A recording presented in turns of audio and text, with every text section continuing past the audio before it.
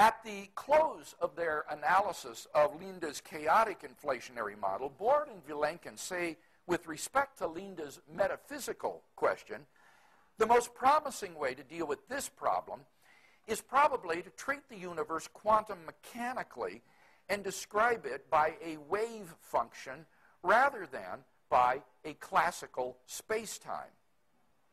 They thereby allude to the next class of models which we'll discuss, namely quantum gravity models. Vilenkin and more famously James Hartle and Stephen Hawking have proposed models of the universe which Vilenkin candidly calls exercises in metaphysical cosmology. In his best-selling popularization of his theory, Hawking even reveals an explicitly theological orientation. He concedes that on the standard model, one could legitimately identify the Big Bang singularity as the instant at which God created the universe. Indeed, he thinks that a number of attempts to avoid the Big Bang were probably motivated by the feeling that a beginning of time smacks of divine intervention. He sees his own model as preferable to the standard model because there would be no edge of space-time at which one would have to appeal to God or some new law. As we shall see, he is not at all reluctant to draw theological conclusions on the basis of his model.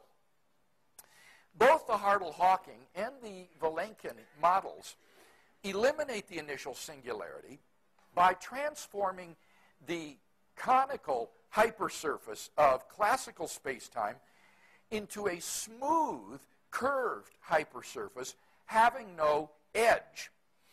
This is accomplished by the introduction of imaginary numbers, that is to say, multiples of the square root of negative 1 uh, uh, for the time variable in Einstein's gravitational equations, which effectively eliminates the singularity.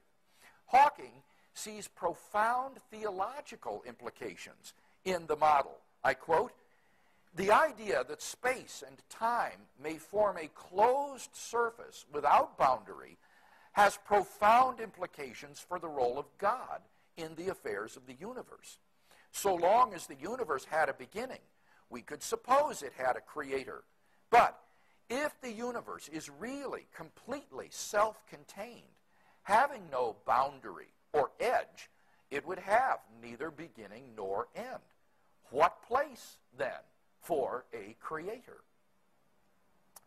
Hawking does not deny the existence of God, but he does think that his model eliminates the need for a creator of the universe.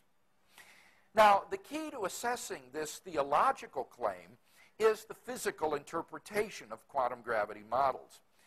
By positing a finite imaginary time on a closed geometrical surface prior to the Planck time, rather than an infinite time on an open geometrical surface, these models actually seem to support, rather than undercut, the idea that time had a beginning. Such theories, if successful, enable us to model the beginning of the universe without an initial singularity, involving infinite density, temperature, pressure, and so on. As Barrow points out, this type of quantum universe has not always existed. It comes into being, just as the classical cosmologies could. But it does not start at a Big Bang where physical quantities are infinite. Barrow points out that such models are often described as giving a picture of creation out of nothing. The only caveat being that in this case, there is no definite point of creation.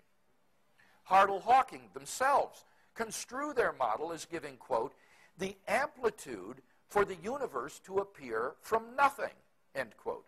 And Hawking has asserted that according to the model, the universe, quote, would be quite literally created out of nothing, not just out of the vacuum, but out of absolutely nothing at all, because there is nothing outside the universe, end quote. Similarly, Vilenkin claims that his model describes the creation of the universe, quote, from literally nothing, End quote. Taken at face value, these statements entail the beginning of the universe. Hence, Hawking evidently means to include himself when he asserts, today virtually everybody believes that the universe and time itself had a beginning at the Big Bang. Hawking's theological statement, quoted uh, a moment ago, uh, on the theological implications of his model, must therefore be understood to mean that on such models, there are no beginning and ending points. But having a beginning does not entail having a beginning point. Even in the standard model, theorists sometimes cut out the initial singular point without thinking that, therefore, the uh, space time no longer begins to exist. And the problem of the origin of the universe would be thereby neatly solved. Time begins to exist just in case for any finite temporal interval, there are only a finite number of equal temporal intervals earlier than it. That condition is fulfilled for quantum gravity models as well as for the standard model. Thus, quantum gravity models, like the standard model, imply the beginning of the universe. Perhaps it will be said that such an interpretation of quantum gravity models fails to take seriously the idea of imaginary time. Introducing imaginary numbers for the time variable in Einstein's equation has the peculiar effect of making the time dimension indistinguishable from space. But in that case, the imaginary time regime prior to the Planck time is not truly a space-time at all but rather a Euclidean four-dimensional space. Construed realistically, such a four space would be evacuated of all temporal becoming and would simply exist timelessly. Thus, Vilenkin characterizes this regime as a state in which all our basic notions of space, time, energy, entropy, etc., lose their meaning. Hawking describes it as completely self contained and not affected by anything outside itself. It would be neither created nor destroyed.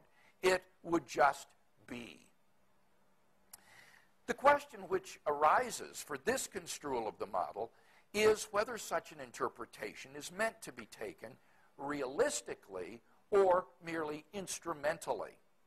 On this score, there can be little doubt that the use of imaginary quantities for time is a mere mathematical device without ontological significance.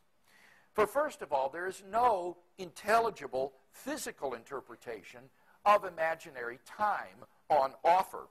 What, for example, would it mean to speak of the lapse of an imaginary second or of a physical object during through two imaginary minutes? Secondly, time is metaphysically distinct from space. Its moments are ordered by an earlier than relation, which does not similarly order points in space.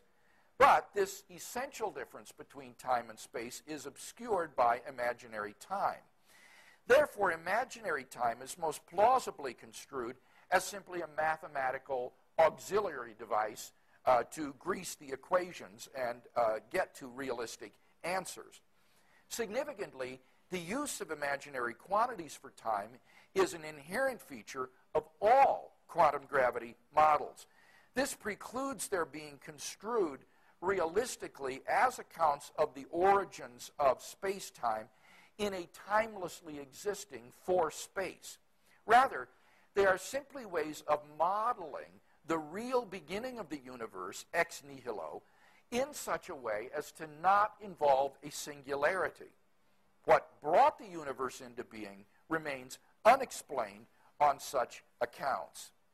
So, whether its origin was at a singular point or not, uh, the fact remains that the universe began to exist, uh, and this is a prediction of any realistic interpretation of quantum gravity models.